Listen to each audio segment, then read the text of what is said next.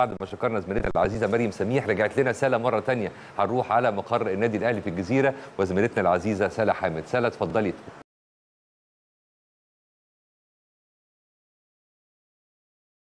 يا صباح الفل يا كريم. وطبعا بصبح على كل مشاهدي ومتابعي وجمهور النادي الأهلي في كل مكان يوم جديد وحلقة جديدة في بداية الأسبوع من 10 الصبح في الأهلي. يعني أنا دلوقتي معاك من مقر النادي الأهلي بالجزيرة عشان أنقل لكم كل الأخبار والأمور اللي متعلقة بالنشاط الرياضي أو الفرق الأخرى. وكالعادة خليني أبتدي زي ما بحب دايما بالفريق الأول لكرة السلة سيدات بقيادة الكابتن علي هاشم. سيدات السلة النهارده إن شاء الله هيتمرنوا الساعة 7 مساء على صالة الأمير عبد ال- عفوا على صالة الشهداء بمقر النادي استعدادا لمباراة غد أمام نادي هليوبلس. بكرة المباراة هتكون الساعة 6 على نفس الصالة اللي بتمرن عليها الفريق صالة الشهداء الساعة 6 وهيكون في إطار منافسات بطولة دوري السوبر للسيدات.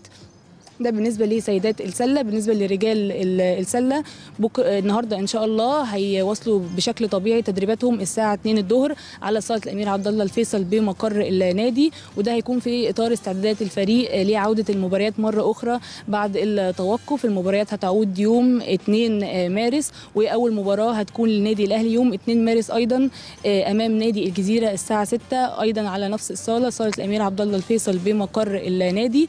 والمباريات يعني في يا كريم في بطولة الدوري هتتوقف نظرا لاستعدادات منتخب مصر لكرة السلة للمشاركة في المرحلة الثانية من تصفيات لبطولة أفريقيا.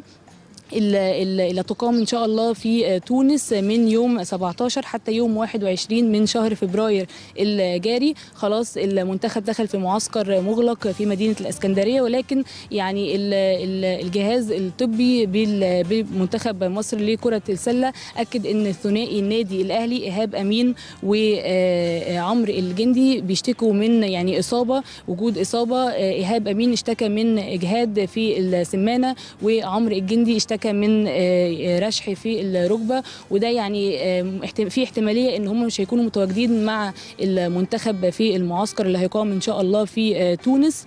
آه، يعني قبل سفر ال- المنتخب لتونس اللاعبان هيخضعوا لفحص طبي آه، جديد عشان يتحدد بشكل نهائي خلاص. يعني موقفهم النهائي إن هم هيكونوا متواجدين مع الفريق إن شاء الله مع المنتخب عفوا في آه، تونس أو عدم تواجدهم مع ال- المنتخب في ال- الاستعدادات لمشاركه في تصفيات لبطولة أفريقيا. ده بالنسبة لكرة السلة في النادي الأهلي. خليني أتكلم شوية عن الكرة الطايرة وفتيات الذهب أو سيدات الطايرة بقيادة الكابتن حمدي الصافي. النهارده إن شاء الله هيتمرنوا الساعة 5:30 على صالة الشهداء استعدادا لمباراة واللي هتكون أمام نادي الجزيرة. مباراة غد هتكون آه، بكرة إن شاء الله الساعة 6 على صالة الأمير عبد الله الفيصل بمقر النادي وده هيكون في إطار آه، منافسات بطولة الدوري الممتاز لكرة الطايرة.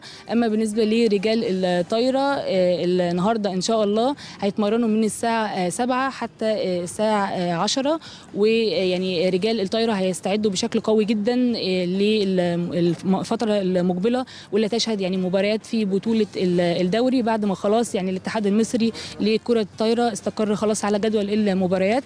أول مباراة إن شاء الله هتكون للنادي الأهلي يوم الجمعة أمام نادي سموحة. مباراة قوية مباراة مهمة هتجمع ما بين الفريقين في الأدوار النهائية من بطولة الدوري العام لكرة الطايرة. المباراة هتكون يوم الجمعة الساعة 6 على صالة الأمير عبد الله الفيصل بمقر النادي. ويعني خلاص الفريق بيستعد بشكل قوي جدا الأيام المقبلة. النهاردة إن شاء الله هيتمرن بشكل طبيعي جدا.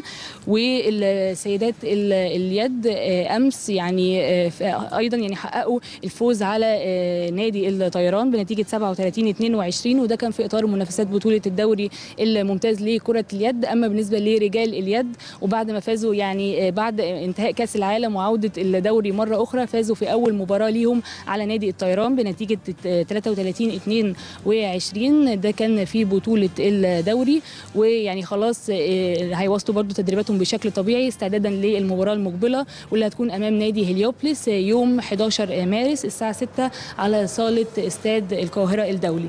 يعني دي يا كريم كانت أهم وأبرز الأمور والأخبار المتعلقة بالنشاط الرياضي أو الأخبار الفرق الأخرى. طبعا أنا معاك لو في أي سؤال والآن العوده مرة أخرى للاستوديو. نشكرك شكرا جزيلا زميلتنا العزيزة ساره حامد المتواجدة في مقر النادي الأهلي بالجزيره